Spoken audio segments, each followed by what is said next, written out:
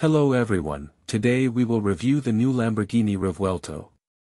The Lamborghini Revuelto is a plug-in hybrid. It's the first Lamborghini that offers a front-wheel drive mode and it can be ordered with factory-spec winter tires.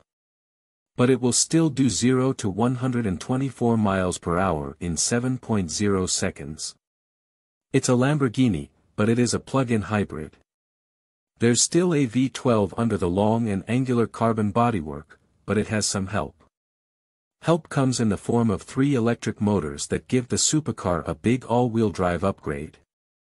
Should the need arise, though, say in a snowy ski lodge parking lot, the Revuelto can be an all-wheel drive EV. Just not a particularly quick one. Having front-mount motors does more than just add power. It also helps improve handling. Lamborghini's control unit can send power to the left or right front tire to deliver a strong torque vectoring effect for pulling harder out of a turn or reducing understeer and oversteer.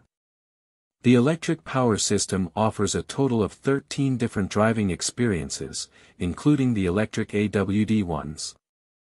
Lamborghini says it will also give the driver more confidence behind the wheel. Lamborghini has not abandoned the V12, it has actually made it better. Though this is a 6.5L V12, the same size as the one in the Aventador it is replacing, it is very different. The new V12 weighs just 481 pounds. It's not light, but it is around 40 pounds lighter than the old one. In the Revuelto, the engine is also flipped. The transmission is at the back now instead of in the front. The Superquadro V12 puts out 814 horsepower, giving the car a total of 1001 horses when gas and electric are fully combined. As always, the V12 sits proudly on display under its clear cover. The driver should be able to see it clearly through the rear window, as well. The electric battery can be charged using standard electrical power at home.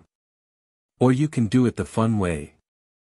Lamborghini says that you can use the V12 to charge the battery and that it takes just 6 minutes. 6 glorious minutes where you can turn combustion now into electric power for later.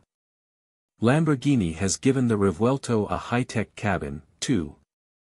It has the usual 12.3-inch digital dash display and an 8.4-inch center screen. The passenger gets their own screen, too. They can use it to control the infotainment system or just watch the map in front of them.